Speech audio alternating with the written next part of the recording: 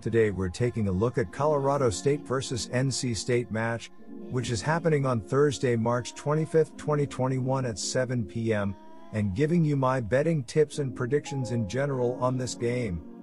Welcome back to High Stakes, let's get straight into it. Also, don't forget to subscribe to get notified as soon as we release these sport prediction videos. The NIT quarterfinals bring us a fantastic matchup between NC State and Colorado State. NC State finished ninth in the ACC standings, almost perfectly aligned with their preseason prediction of 8th. The Wolfpack struggled in early January with four consecutive conference losses to Clemson, Miami, Florida State, and North Carolina. Colorado State was a nice surprise in the Mountain West, finishing third overall after a preseason prediction of fifth. The Rams entered the season ranked 308th in experience per KenPom, but disproved the popular theory that Niko Medved's club was one year away. Who should betters back in this fantastic matchup of two evenly matched teams with legitimate title aspirations? While the Wolfpack are averaging just 73 points per game, the team is certainly accurate from the floor, ranking in the top 70 in the country in field goal along with three point percentage. The team lost a critical player and leading scorer Devon Daniels late January as he suffered a serious knee injury in the team's five point home win over the Wake Forest Demon Deacons. To make up for his scoring production, the team has relied on the scoring of Bates, Funderburk, along with Hellems. The trio each shot 50% or better in the team's opening win over the Wildcats, while Hellems and Funderburk finished a combined 3 to 6 from long range. Forward Hellems is not only making 47% of his shots from the floor on the year, but can stretch defenses with his ability to make shots from deep. Bates is very accurate on the offensive end and has shown an ability to be a presence on the defensive end as well, racking up 21 blocks in his last nine outings. Defense has been the calling card for the Wolfpack this season as the team is giving up just 69 points per game. However, it should be mentioned that the team is ranked 234th along with 247th in field goal along with 3 point percentage allowed. With an offense for the Rams that can put points on the board in an accurate manner, the Wolfpack may indeed be exploited. Despite this, the team enters this contest failing to give up 70 points in all but one of their last six games. The number one Colorado State Rams believe they should have been included in the NCAA tournament.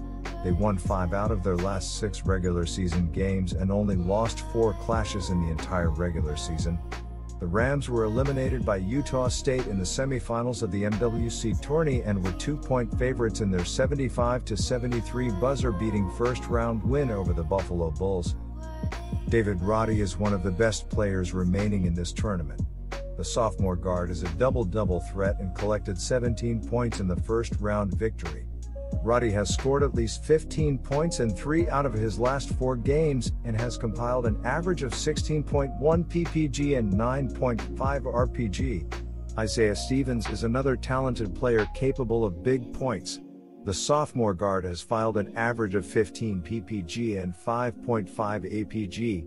Kendall Moore has only netted a combined 8 points in his last two performances. The junior guard enters this one averaging 10.5 ppg.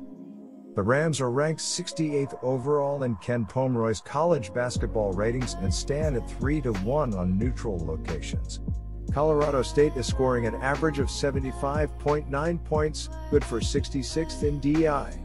They are solid defensively as well, holding foes to 65.8 points, placing them 60th in the country. NC State has reached the NIT quarterfinals despite losing leading scorer Devon Daniels to an ACL tear in late January. The Wolfpack rallied to end the regular season, winning five consecutive games. They were then crushed by Syracuse 89 69 in the first round of the ACC tournament, before bouncing back with a 75 61 win over Davidson in the NIT quarterfinals. Junior forward Jericho Hellems has helped to fill the void, with 11 or more points in 10 of the 12 games since Daniel's injury, he is balanced up front by senior DJ Funderburk and sophomore Manny Bates. At 6 foot 11, Bates is also one of the nation's leaders in blocked shots at 2.7 per game. The Wolfpack's backcourt is solid, with freshman Cam Hayes and senior Braxton Beverly controlling tempo and spacing the floor on offense. NC State will rely on the interior to overpower an undersized Colorado State front line. Bates and Funderburk should provide a huge rebounding advantage, which will be needed to offset the Rams' proficiency from 3P.